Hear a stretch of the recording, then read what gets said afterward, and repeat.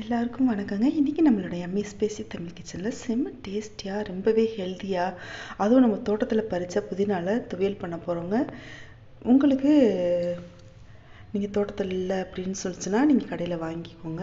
நம்ம எப்போவுமே பாருங்களேன் இந்த மாதிரி ஒரு குச்சியை அந்த புதினா இலையில ஆஞ்சிட்டு அந்த குச்சியை நட்டு வச்சாலே போதும் போதுன்ற அளவுக்கு நம்ம புதினா பறிச்சுக்கிட்டே இருக்கலாங்க. நான் வந்துட்டு கடையில் புதினா வாங்கினதே இல்லைங்க. நான் வந்து அந்த குச்சி இலையெல்லாம் நட்டு வச்சுட்டு பறிச்சுக்குவேங்க. இப்போ வந்துட்டு இதுக்கு கொஞ்சமாக ரொம்ப ரொம்ப கொஞ்சமாக புளி எடுத்துக்கலாங்க. கொஞ்சம் தேங்காய் சில் கட் பண்ணி வச்சுக்கலாம். அடுத்து மிளகாய் வத்தல் நான்கு எடுத்திருக்கேன். இரண்டு பூண்டு பற்கள் புதினாத்தில் வந்துட்டு க- கொஞ்சம் கழுவி வச்சுருக்கேங்க. ஒரு ஸ்பூன் உளுந்தம்பருப்பு ஒரு ஸ்பூன் கடலைப்பருப்பு. இவ்வளோ தாங்க இந்த துவையல் வந்துட்டு அரைக்கிறதுக்கு. ஆனால் நம்ம கடைசியில் ஒரு கொஞ்சம் பொருட்கள்லாம் சேர்க்க போகிறோங்க அது என்ன அப்படின்னு சொல்லிட்டு அப்புறம் பார்க்கலாம். இப்போ ஒரு வானொலியை வந்துட்டு ஒரு பாத்திரத்தை அடுப்பில் வச்சுக்கலாங்க. வச்சுட்டு கொஞ்சமாக ஒரு ஒரு ஸ்பூன் அளவுக்கு எண்ணெய் சேர்த்துக்கலாம். இப்போ கடலைப்பருப்பு போட்டுக்கலாங்க.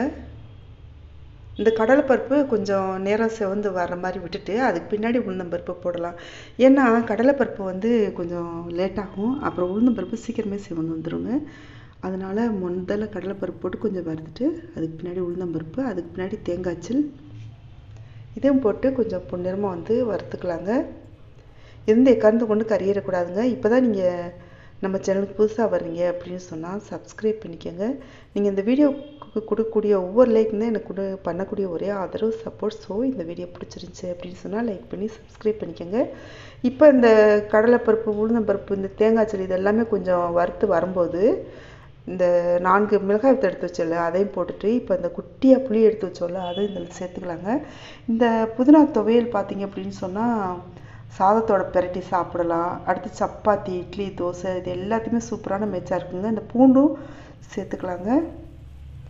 சேர்த்துட்டு லாஸ்ட்டில் பார்த்தீங்கன்னு சொன்னால் இந்த புதினா இலைகள் இருக்கு இல்லையா அதை சேர்த்துக்கலாம். புதினா துவையல் வந்து பல விதங்களில் அரைக்கலாம். அப்புறம் அப்புறம் பார்த்தீங்கன்னு சொன்னால் இந்த புதினா துவையல் எப்படி அப்படின்னு சொன்னால் நல்லா அந்த புதினா நல்லா வதங்கி வந்துடணுங்க அந்த பச்சை வாசனையும் இருக்கக்கூடாது. நல்லா வதங்கி வந்துடணும் நாம் இன்னும் நிறைய வெரைட்டி இருக்குங்க. புதினா துவையல் நிறைய விதமாக செய்யலாம். அதெல்லாம் நம்ம அடுத்தடுத்த பதிவுகளில் பார்க்கலாம். இப்போ பார்த்தீங்கனாலே தெரியும். புதினா வந்துட்டு நல்லா ஒரு நல்லா வதங்கி ஒரு மொ நம்ம கையில் உடச்சி பார்த்தோம் அப்படின்னு சொன்னாலே கொஞ்சம் மொறு மொறுன்னு இருக்குங்க அந்தளவுக்கு நல்லா வதங்கி வந்துருச்சுங்க. இப்போ இதுக்கு வந்துட்டு சின்னதாக இஞ்சி துண்டு கொஞ்சம் கருவேப்பிலை ஒரு பூண்டு பல் பச்சையாக போட போகிறோங்க இப்போ அந்த நம்ம வதக்கணும் இல்லையா? இது கொஞ்சம் நேரம் ஆற ஆற வச்சிடலாங்க இந்த துவையல் பார்த்தோம் அப்படின்னு சொன்னால் லஞ்ச் பாக்ஸுக்கு வந்துட்டு சாதத்தோட கிளறி கொடுத்தா அது நல்ல டேஸ்டியாக இருக்குங்க. இப்போ பாருங்கள் இந்த புதினா வந்துட்டு எந்த அளவுக்கு வறுபட்டிருக்கு அப்படின்னு சொல்லி உங்களுக்கு பார்த்தாலே தெரியும். இந்த டைமில் வந்துட்டு நம்ம மிக்ஸி ஜாருக்கு மாற்றிட்டு நம்ம அரைச்சி எடுத்துக்கலாம். என்ன மாதிரி அரைக்கணும் அப்படின்னு சொன்னால் ரொம்ப நைஸாகவும் அரைச்சிடக்கூடாது. அதே டைமத்தில் ரொம்ப குறை குறைப்பாகவும் அரைச்சிடக்கூடாதுங்க. நம்ம லாஸ்ட்டில் எடுத்து வச்சு இல்லையா அது எல்லாமே போட்டாச்சு. இப்போ பாருங்கள் இந்த மாதிரி இன்ச் பண்ணிவிட்டு அதுக்கு பின்னாடி உப்பு போட்டுக்கலாங்க. நான் உப்பு முதல்ல போட மறந்துட்டேன். அதனால் இப்போ உப்பு போட்டு தேவையான அளவு தண்ணி ரொம்ப கொஞ்சமாக ஊற்றணுங்க கொஞ்சம் அதிகமாக ஊற்றணும் அப்படின்னு சொன்னால் சட்னி மாதிரி ஆயிரும். அதனால தண்ணி ரொம்பவே கொஞ்சமாக ஊற்றிட்டு இது எல்லாமே கலந்து விட்டுட்டு நாம் இப்போ அரைச்சி எடுத்துக்க போகிறோங்க